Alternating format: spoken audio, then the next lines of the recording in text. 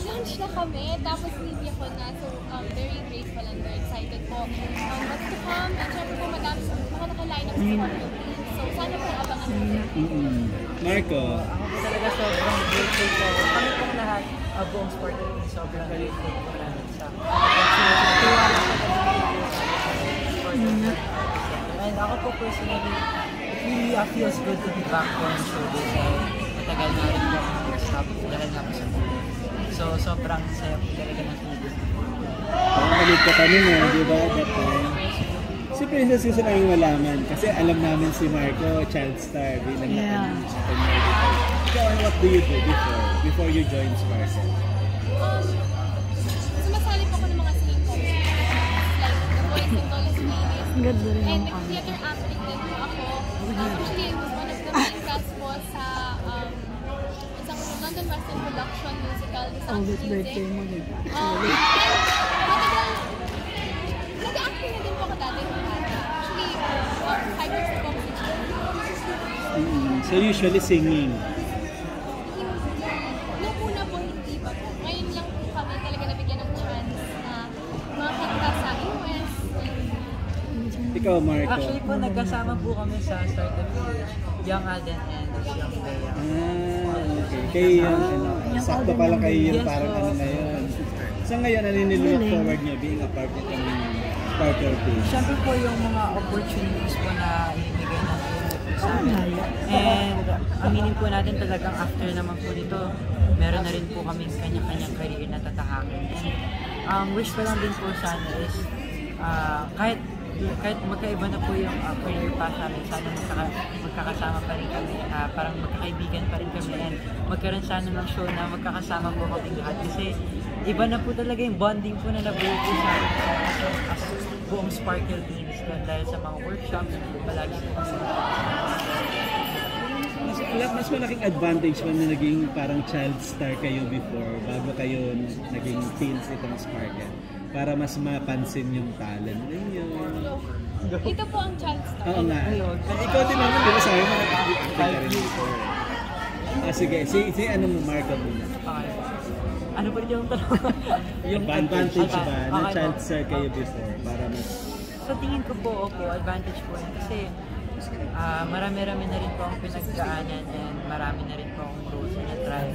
And ngayon po kasi parang panibagong nilito na po ito ng showbiz at career ko eh. Pero magagamit ko po lahat po ng mga natutunan ko from the very start ngayon po. Pero ano po, willing pa rin po akong matuto dahil gaya nga po na sabi nila, there is always room for improvement.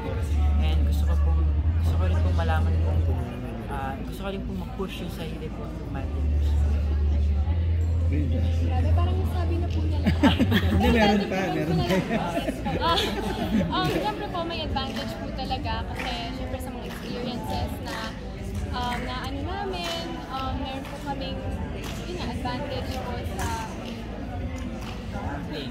um, siyempre, um, madami na po kami mga shows, um, and siyempre po sa akin, kumakanta din po ako, and yun po, gusto ko lang po yung ipag- Pressure ba on your part, naging part kayo nung start Ah, yes po. Yes po. Actually, before pa po nun kami maging uh, spar official na Sparkers. Yes po. Kasi, ah, yun ang unang show ko po pag pagbalik ko po is startup season. So, talagang kinabahan po ako. And, buti na lang po nakasama ko siya. At least meron po akong trouble din.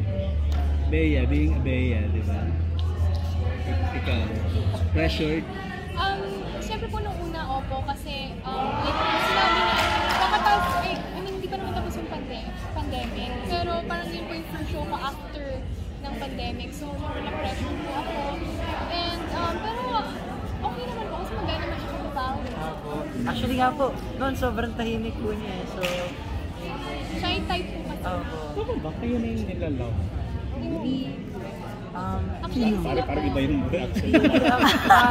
Ano po? Depende po yun sa management, pero ako po.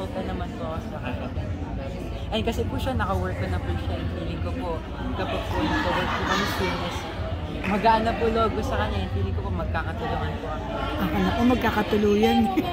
Tulungan? Hindi tuluyan. Oo nga, eh, mali, mali. na ano, pero hindi pa naman po siya pinaplano na kayo together? Pero okay lang sa inyo. Ako, ako po, okay lang naman po. Actually, wala, wala, wala. Kasi, pero kayo ba okay kayo sa ganun? Sa setup na love team, gusto niyo yung solo. Mas Ako nakilala okay, kayo. okay, okay lang naman po sa akin. Si Princess. Okay, okay ka ba? Parang napilitan. Parang napilitan Parang na. napilitan. Parang. Sino pa yung mga nilook forward yung mga makatrabaho? Aside doon sa mga kasama yung ano, Sparkle Teens na mga mga veteran kapos sa actress. Google, oh. po, isa na po Barbie Corteza. Kasi sobrang, sobrang, idol ko po talaga siya sa mga show. Parang gigil na gigil ka. Gusto gusto mo. Tsaka sobrang, First to Barbie ha. sobrang bait niya po talaga.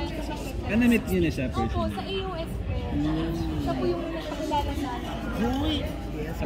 Yan din yung pinagdaanan ni Barbie. Yung, di ba, yung twins na ganito na Atin, ganyan. Siya yung Pwede po ba maging next door? Pwede naman, ba? na, di ba? So, nakahanap ka rin ng Jack Roberto. Ikaw, Marco. Gusto mo kumasin, may pa-abs ka. Oo, may props din siya. Pero Papaabs din siya. ayun po, medyo nagsisimula na po mag-workout pero teens pa naman po kami. Darating din po tayo. Ikaw, Marco, sino yung nilook forward mo? Ako po ah, si Mr. Ding Dong Dantes po talaga. Talagang gusto ko po siya makatrabaho. And si Miguel Tan Felix po, nakatrabaho ko na po siya sa daycare ng lola ko. And talagang sobrang cool po niya guy. And gusto ko pa po kasi po, uh, on lang po yung taping days namin.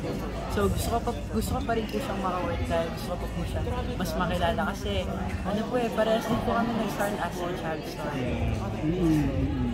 Pero di ba parang yun na nga, sabi ko kanina kay Ashley, maraming nag-ship sa inyo together. Kaya nga po, eh, pati po ako shipper. Ay, totoo! Ah! Parang super ka rin ng kanila ni Ashley. Pero how do you feel about it? Na parang, syempre mag parang sila pag hindi kayo push, di ba? Ah, actually po kasi matagal ko na pong kilala si Ashley ever since going bullying days po kilala ko na po siya. And uh, we are very good friends naman po.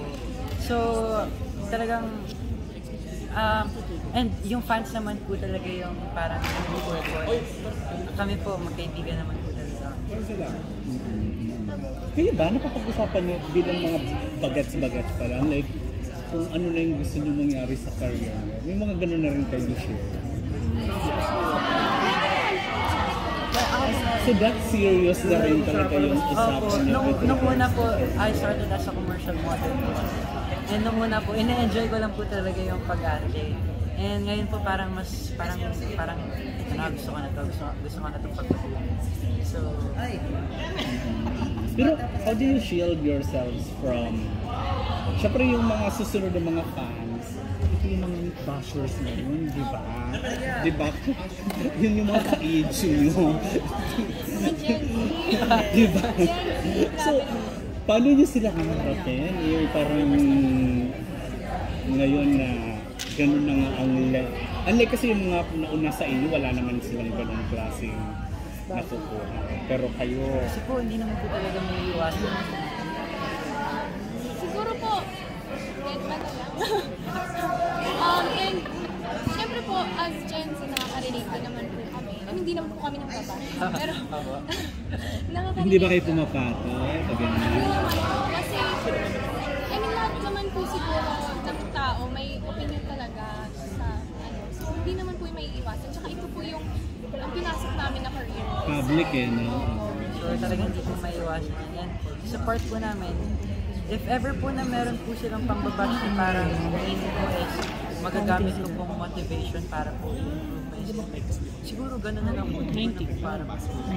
Or parang kakayaan ko na lang din po. Kasi po minsan po yung mga bashers, sometimes sila rin po yung nagpaparealize sa'yo na dapat ganito na dapat i-improve mo ganito. So parang mag- magagamit ko po yun. Gagamitin ko na lang po yun as motivation. You want to become, uh, ano ba ga? Dramatic actor ba? Dahil yun naka nagsimula. Ako, 40 ko po talaga Bakit mo drama. talaga yung gano'n? Pero I also wanna try a different genres rin po, like uh, action. Kasi po, kami po ng dad ko, mahilig po talaga kami manood ng action movies. And actually po, isa po yung dad ko po talaga sa talagang nag nagparamdam sa akin na gusto, gusto ko talagang mag-act. So, yun po, very open po ako sa iba't ibang roles, pero for this po talaga drama. And yun po, gaya po ng sabi ko kanina, ah, gusto ko po maging uh, Mm-mm. Si, ano naman, Princess, ano yung gusto mo panakan on kay soon? Siguro po soon. I mean, kahit ano naman po eh. I'm, ano, hindi dahil sa sobrang galing ko po. Pero, ah, po, gusto ko din pong matry yung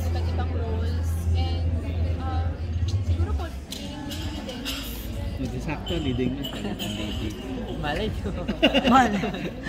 Okay, so, pl- uh, sige, please uh, invite your followers to follow yung social media niyo or kung may upcoming projects. Yan. Um, so, um, ayun nga po pala, um, abangan niyo po ako sa Sparkle U.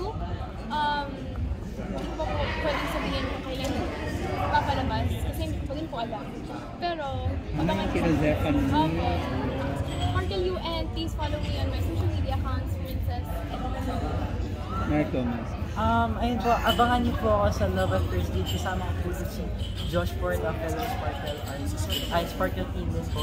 And ayun po, follow niyo po ako sa mga social media accounts ko and maski yung sa Sparkle GMA Artist Center po. Follow niyo po yan para updated po kayo. And sa TikTok ko po, Marco Masa underscore underscore, Facebook page ko, Marco Masa, um, YouTube ko, Marco Masa, Instagram ko, it's me, Marco Masa.